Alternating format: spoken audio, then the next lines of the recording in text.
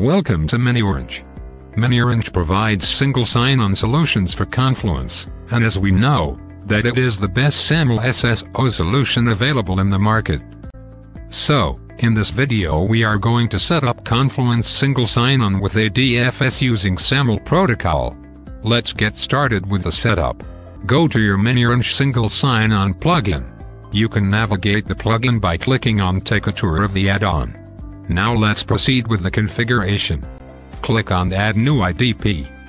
You can select Manual Setup Flow, which gives you access to all the various setup options that we provide to add a SAML identity provider.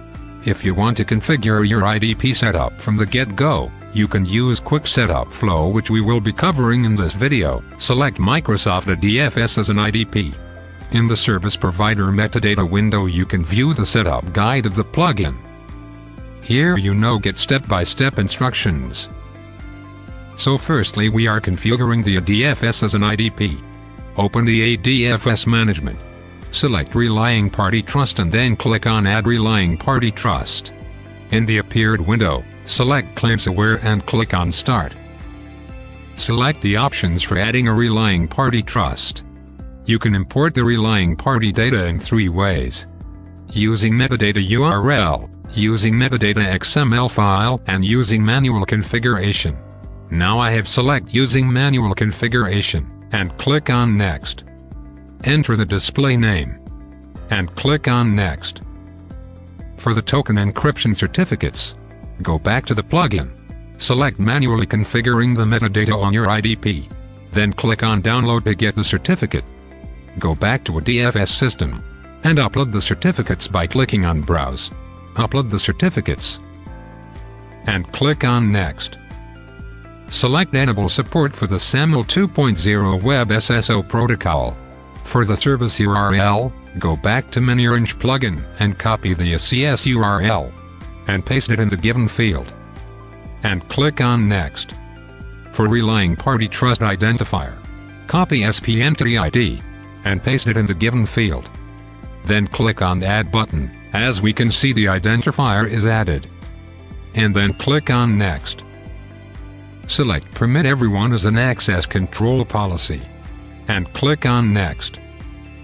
Click on the Next button from Ready to Add Trust. Party Trust is successfully added. And click on Close. Navigate to Edit Claim Issuance Policy. Click on Add Rule button.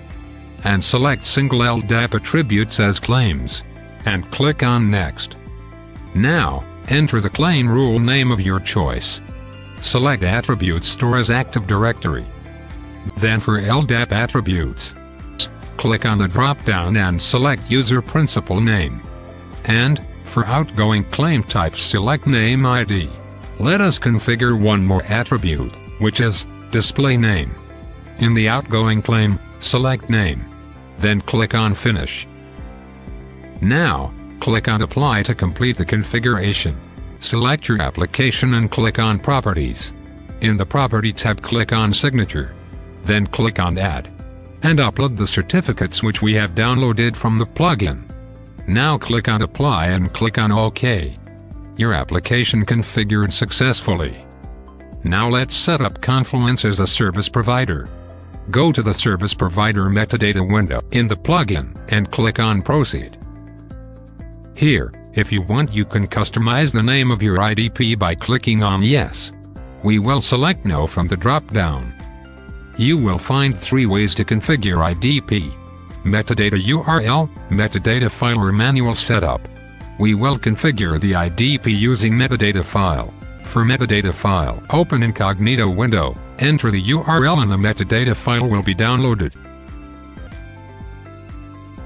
Choose the metadata file which we have already downloaded. Then click on the Save. You can see SAML setting updated message. Then copy the test and get attributes URL.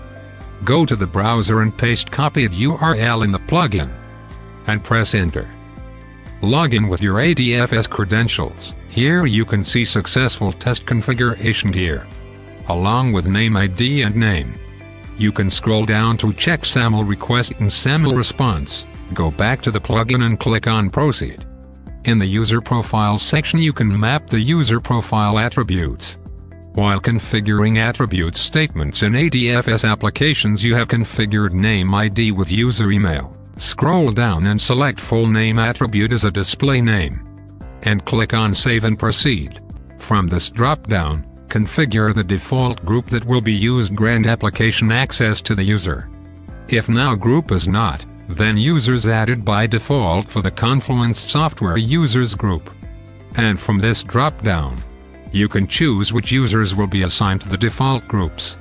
Then click on Save and Proceed. And click on Finish. Your IDP is successfully configured. Now, whenever user will try to access the Confluence page, he will be redirected to ADFS after some time. That is the user will be first to log in by ADFS SSO. Click on I understand. If you want to change behavior and show both the Confluence login and ADFS SSO button. Then click on Sign in Settings. Now click on Auto Redirect to IDP option disabling. Scroll down and click on Save. Setting has been saved successfully. Now, navigate the Configured IDPs step for the left menu. You will find all the configured ID IDPs here. You can view, test, edit or delete your configuration here. You can enable or disable SSO for ADFS IDP. After successful test connection you will get CSSO button on the Confluence login page now. Click on Use Corporate Login button. Here you will be redirected to ADFS login page. Log in with your ADFS credentials. You will be successfully logged in Confluence dashboard.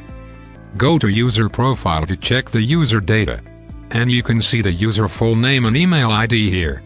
miniOrange provides best single sign-on solutions. Thanks for watching.